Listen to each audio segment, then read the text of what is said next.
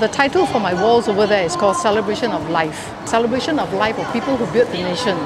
I love to paint the Samsui woman because she's uh, very resilient, you know, and because of her circumstances, she overcame all that. She's also very fit and strong. So very inspirational for me because uh, I felt the same way. 有画过那么大的幅画，那我们就不知道呃应该花多长的时间。我们本来好像没有想到呃会花到四十多个小时，可能可能就想到二十还是三三十多个小时。I learned that I either learned a lot from it, from the experience, and in the process, I made a lot of friends.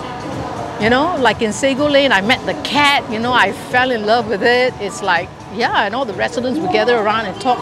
So it's not so much fear of the public looking at you painting, but you're interacting with them.